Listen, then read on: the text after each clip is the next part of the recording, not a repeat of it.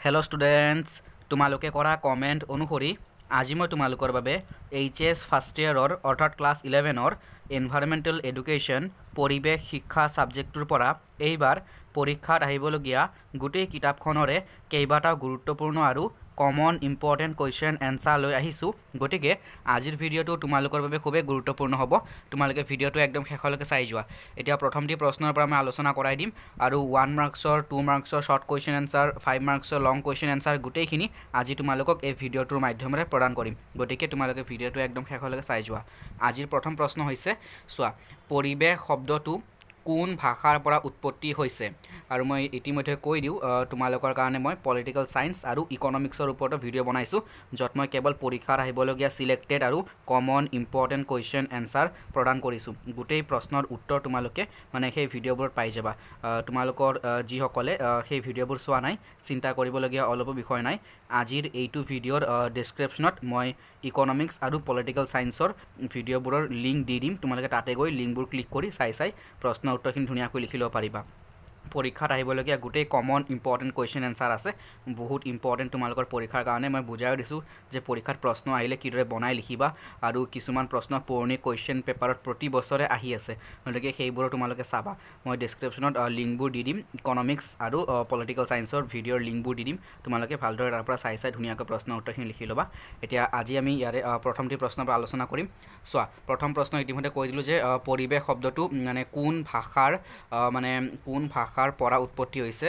ফৰাচী মনত ৰাখিব ফৰাচী শব্দ এনভাইৰনাৰৰ পৰা উৎপত্তি হৈছে ঠিক আছে? ফৰ মানে ফৰাচী শব্দ পৰিৱেশ শব্দটো ফৰাচী শব্দ এনভাইৰনাৰৰ পৰা উৎপত্তি হৈছে। পৰৱৰ্তী প্ৰশ্ন বায়ু পানী আৰু মাটিক লৈ গঢ়ি উঠা বাতাবৰণটো কি বোলে? পৰিৱেশ বোলে মনত ৰাখিবা।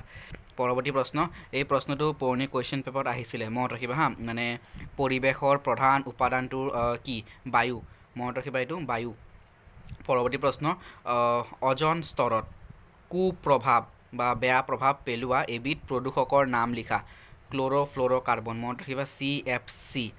তাৰ উপৰিও ইয়াতে এটা দৰকাৰী কথা আছে কৈ দিওঁ যে মানে বহুত দৰকাৰী কথা তোমালোকৰ পৰীক্ষাৰ কাৰণে ভেৰি ভেৰি ইম্পৰ্টেণ্ট তোমালোকৰ মানে পুৰণি কুৱেশ্যন পেপাৰত প্ৰশ্নটো আহিছিলে চি এফ চিৰ মানে সম্পূৰ্ণ অৰ্থ ফুল ফৰ্ম ক্ল'ৰ' কাৰ্বন মনত ৰাখিবা আৰু ক্ল'ৰ' কাৰ্বন এবিধ সেউজ গৃহ গেছ হয় ঠিক আছে? মানে গ্ৰীণ হাউচ গেছ।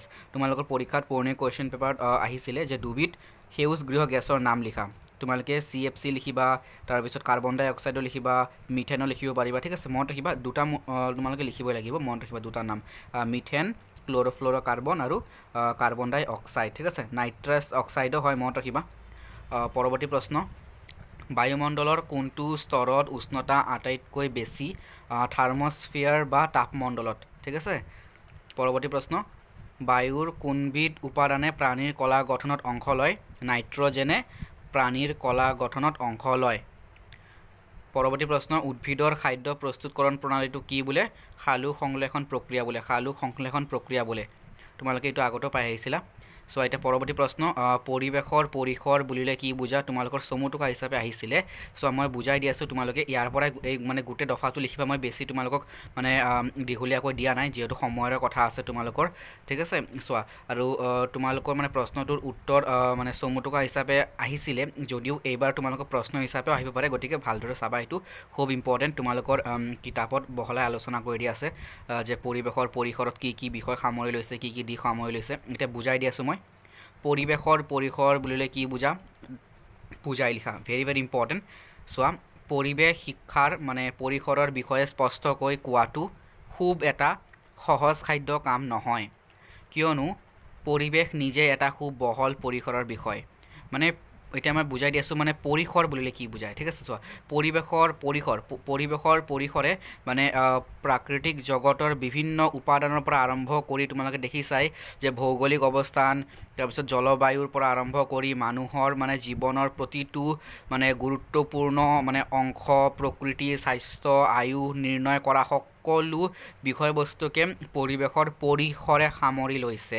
মানৱসৃষ্ট বিভিন্ন সামগ্ৰী বিভিন্ন বস্তুৰ পৰা আৰম্ভ কৰি প্ৰকৃতিৰ বিভিন্ন উপাদান সকলো ক্ষেত্ৰতে মানে পৰিৱেশৰ পৰিসৰ শব্দটোৱে মানে বিস্তাৰ প্ৰভাৱ লাভ কৰিছে। ঠিক আছে? বিস্তাৰ প্ৰভাৱ লাভ কৰিছে। গতিকে গোটেইখিনি তোমালোকে ইয়াৰ পৰা দফাটো লিখিব পাৰিবা। পৰৱৰ্তী প্ৰশ্ন।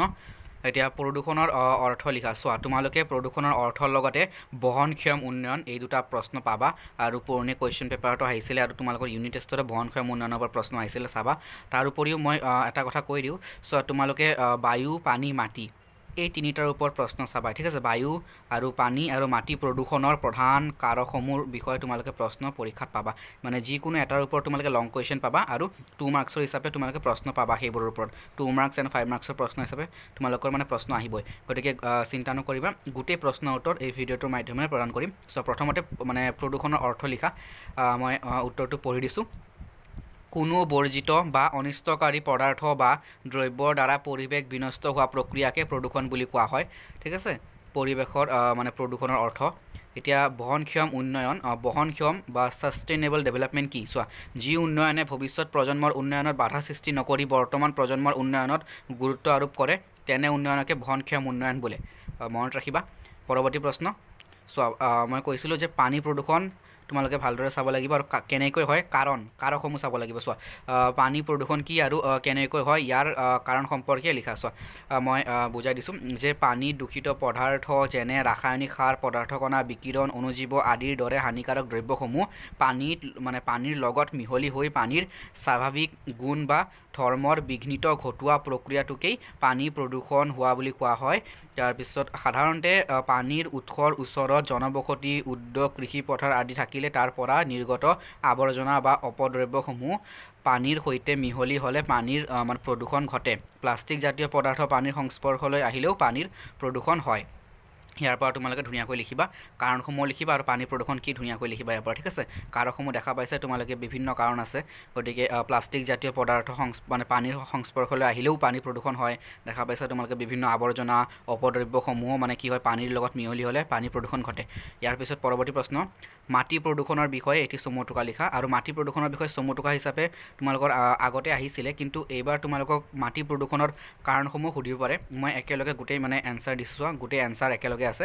একদম শেষলৈকে উত্তৰটো চাই যোৱা। মই বুজাই দিছোঁ চোৱা মাটি প্ৰদূষণ কেনেকৈ হয়? মাটি প্ৰধানকৈ মানৱ কাৰ্যকলাপৰ বাবেই মানে প্ৰদূষিত হয়। সাধাৰণতে মাটিৰ সৈতে যেতিয়া কোনো ৰাসায়নিক পদাৰ্থ বিষাক্ত ধাতু ঔদ্যোগিক আৱৰ্জনা তেজস্ক্ৰিয় পদাৰ্থ নগৰীয় নগৰীয়া আৱৰ্জনা এচিড বৰষুণ আদি মাটিৰ সংস্পৰ্শলৈ আহি বা মিহলি হৈ মাটিৰ স্বাভাৱিক গুণাগুণ নষ্ট কৰাৰ উপৰি মানে মাটিৰ উৰ্বৰতা শক্তি নোহোৱা হয়। ইয়াকে মাটি প্ৰদূষণ হোৱা বুলি কোৱা হয়। মানে ৰাসায়নিক সাৰ বা কৃত্ৰিম সাৰ যিবোৰ মানে খেতিৰ কাৰ্যত ব্যৱহাৰ কৰা হয় মাটিত মিহলোৱা হয় তেতিয়া মাটিৰ স্বাভাৱিক মানে ধৰ্ম বা স্বাভাৱিক গুণ নষ্ট হয় যাৰ ফলস্বৰূপে মাটিৰ যি মানে উৎপাদন ক্ষমতা উৰ্বৰতা শক্তি হ্ৰাস পায় বা কমি আহে ইয়াকে মাটি প্ৰদূষণ হোৱা বুলি কোৱা হয়। পৰৱৰ্তী প্ৰশ্ন বায়ু কেনেকৈ প্ৰদূষিত হয়? চোৱা বৰ্তমান বায়ু প্ৰদূষণ এটা গুৰুত্বৰ পাৰিপাৰ্শ্বিক সমস্যাত পৰিণত হৈছে। ইয়াৰ কাৰণ চোৱা বায়ু প্ৰদূষণৰ কাৰকসমূহ। চোৱা বৰ্তমান বায়ু প্ৰদূষণ এটা গুৰুত্বৰ পাৰিপাৰ্শ্বিক সমস্যাত পৰিণত হৈছে। বায়ু প্ৰদূষণৰ কাৰণসমূহ হ'ল প্ৰাকৃতিক কাৰণ বা প্ৰাকৃতিক কাৰকসমূহ যে আগ্নেয়গিৰি উদ্গীৰণ আগ্নেয়গিৰি উদ্গীৰণত মানে নিৰ্গত হোৱা ধোঁৱা ছাই আৰু গেছীয় মানে পদাৰ্থসমূহৰ দ্বাৰা বায়ু প্ৰদূষণ ঘটে। তাৰপিছত বনজুই বিশেষ কিছুমান অঞ্চলত প্ৰায়ে সংঘটিত হোৱা বনজুয়েও বায়ু মানে প্ৰদূষিত কৰে। তাৰপিছত পৰৱৰ্তী পইণ্ট মানৱসৃষ্ট কাৰক ঠিক আছে? প্ৰাকৃতিক কাৰক হৈ গ'ল। এতিয়া মানৱসৃষ্ট কাৰকসমূহ হৈছে মানে ঔদ্যোগিক। ঔদ্যোগিক আৰু মানে উদ্যোগীকৰণ প্ৰক্ৰিয়া বা উদ্যোগীকৰণ আৰু নগৰীকৰণ প্ৰক্ৰিয়াৰ ঠিক আছে? তাৰপিছত যান বাহনৰ বৰ্ধিত ব্যৱহাৰ তথা আণৱিক বোমাৰ বিস্ফোৰণ যাৰ ফলস্বৰূপে বিষাক্ত গেছ নিৰ্গত হৈ বায়ু প্ৰদূষণ ঘটায়। পৰৱৰ্তী প্ৰশ্ন গোলকীয় উত্তাপ বৃদ্ধি কি? ইয়াৰ কাৰকবোৰ উল্লেখ কৰা। তোমালোকে গোলকীয় উত্তাপ বৃদ্ধিৰ ওপৰত প্ৰশ্ন পৰীক্ষাত পাবাই ঠিক আছে? একদম কমন প্ৰশ্ন চোৱা। গোলকীয় উত্তাপ বৃদ্ধি বৰ্তমান তোমালোকৰ ইউনিট টেষ্টতো আহিছিলে গতিকে ভালদৰে চাবা। গোলকীয় উত্তাপ বৃদ্ধি বৰ্তমান আমাৰ পৃথিৱীৰ সবাতোকৈ গুৰুত্বপূৰ্ণ মানে পৰিৱেশ সম্বন্ধীয় সমস্যা। বায়ুমণ্ডলত সেউজগৃহ গেছসমূহ সংযোজিত হোৱাৰ ফলস্বৰূপে ভূপৃষ্ঠৰ লগতে বায়ুমণ্ডলৰ উত্তাপ বৃদ্ধি হোৱাকে গোলকীয় উত্তাপ বৃদ্ধি হোৱা বুলি কোৱা হয়। ঠিক আছে? চোৱা এতিয়া গোলকীয় উত্তাপ বৃদ্ধিৰ কাৰকবোৰ হৈছে গোলকীয় উত্তাপ বৃদ্ধিৰ ক্ষেত্ৰত সেউজগৃহ গেছসমূহে এক গুৰুত্বপূৰ্ণ ভূমিকা গ্ৰহণ কৰা দেখা যায়। সেউজগৃহ গেছৰ ভিতৰত কাৰ্বন ডাই অক্সাইড গেছৰ ভূমিকা সৰ্বাধিক হোৱা দেখা যায়। তদুপৰি ঔদ্যোগিক বিপ্লৱৰ পিছৰে পৰা বিস্তৃত ৰূপত হোৱা জীৱাশ্ম ইন্ধনৰ দহনৰ বা ব্যৱহাৰৰ তথা বননি ধ্বংস আদি বননি ধ্বংস কৰা আদিৰ দৰে মানুহৰ কাৰ্যকলাপে গোলকীয় উত্তাপ বৃদ্ধিত অৰিহণা যোগাইছে। কাৰণ ই বায়ুমণ্ডলৰ কাৰ্বন ডাই অক্সাইডৰ পৰিমাণ বৃদ্ধি কৰি বায়ুমণ্ডলীয় উত্তাপৰ মানে বৃদ্ধি কৰিছে। এইকেইটা আছিলে প্ৰধান তোমালোকৰ মানে গোলকীয় উত্তাপ বৃদ্ধিৰ কাৰণ ঠিক আছে? গতিকে এইকেইটা গুৰুত্বপূৰ্ণ প্ৰশ্ন আছিলে একদম কমন ইম্পৰ্টেণ্ট প্ৰশ্ন। তাৰ উপৰিও তোমালোকে পৰিস্থিতিতন্ত্ৰ পৰিস্থিতিতন্ত্ৰ পিৰামিড বুলিলে কি বুজা? আৰু হাইড্ৰ শৃংখল ফুড চেইন তাৰ উপৰিও তোমালোকে পৰিস্থিতিতন্ত্ৰৰ জৈৱিক উপাদান অজৈৱিক উপাদান এইকেইটা একদম কমন প্ৰশ্ন পৰীক্ষাত আহিবই। মই ইতিমধ্যে এইকেইটা প্ৰশ্নৰ ওপৰত ভিডিঅ' বনাই আপলোডো কৰিছোঁ। যিসকলে চোৱা নাই তোমালোকৰ কাৰণে মই আকৌ এবাৰ ধুনীয়াকৈ এইটো ভিডিঅ'ৰ ডিছক্ৰিপশ্যনত সেই প্ৰশ্নবোৰৰ এনচাৰ দি দিম ঠিক আছে? মই সেই প্ৰশ্নবোৰৰ ধুনীয়াকৈ গোটেই এনচাৰ মই এটা ভিডিঅ'ত বনাইছিলোঁ। গোটেই কুৱেশ্যন এনচাৰ তোমালোকে তাতে পাই যাবা। গোটেই কুৱেশ্যন এনচাৰ কমপ্লিট অল প্ৰশ্নৰ উত্তৰ গোটেই পাই যাবা। মই ডিছক্ৰিপশ্যনত লিংকবোৰ দি দিম। আৰু তোমালোকে পলিটিকেল ছায়েন্স আৰু ইকনমিক্সৰ ভিডিঅ'বোৰৰ লিংকো পাই যাবা। ঠিক আছে? গতিকে ডিছক্ৰিপশ্যনৰ পৰা চাই চাই ধুনীয়াকৈ লিখি ল'বা।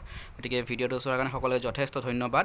আৰু যিবোৰ প্ৰশ্ন মই কৈছোঁ গুৰুত্বপূৰ্ণ প্ৰশ্ন দেই চোৱা পৰিস্থিতিতন্ত্ৰৰ পিৰামিড বুলিলে কি বুজা খাদ্য শৃংখল ঠিক আছে? খাদ্য শৃংখলৰ বৈশিষ্ট্য তাৰ উপৰিও তোমালোকে পৰিস্থিতিতন্ত্ৰৰ জৈৱিক উপাদান অজৈৱিক উপাদান উপাদান তাৰপিছত তোমালোকে পৰিৱেশৰ পৰিসৰ ইতিমধ্যে মই এইটো ভিডিঅ'ত আলোচনা কৰাই দিছোঁ আৰু বাকী প্ৰশ্ন যিবোৰ ক'লোঁ মই এতিয়া সেই প্ৰশ্নবোৰৰ তোমালোকে গোটেই প্ৰশ্নৰ মানে উত্তৰ ডিছক্ৰিপশ্যনত মই লিংক দি দিম তাতো পাই যাবা। ঠিক আছে? গতিকে আজিৰ ভিডিঅ'টো ইয়াতে সামৰিম। গোটেই ভিডিঅ'টো তোমালোকে চোৱাৰ কাৰণে যথেষ্ট ধন্যবাদ। তোমালোকে বাকী ভিডিঅ'বোৰ ডিছক্ৰিপশ্যনত গৈ লিংকবোৰ ক্লিক কৰি চাই চাই লিখি ল'বা গোটেই প্ৰশ্ন উত্তৰ পাই যাবা। আৰু পাৰিলে সকলোকে শ্বেয়াৰ কৰিবা ঠিক আছে? আৰু গোটেই common important selected question answer তোমালোকৰ কাৰণে মই লৈ আহিছোঁ। গতিকে সকলোকে শ্বেয়াৰ কৰি দিবা আৰু সকলোৱে ভালদৰে পঢ়ি থাকিবা ঠিক আছে? ইয়াৰ পিছত মই এডুকেশ্যনৰ ভিডিঅ' আপলোড কৰিম। ইয়াৰ পিছতে আপলোড কৰিম এডুকেশ্যনৰ কমন ইম্পৰ্টেণ্ট প্ৰশ্ন। গতিকে তোমালোকে সকলোকে শ্বেয়াৰ কৰি দিবা। গতিকে ভিডিঅ'টো আজি ইয়াতে সামৰিছোঁ। ভিডিঅ'টো চোৱাৰ কাৰণে সকলোকে যথেষ্ট ধন্যবাদ।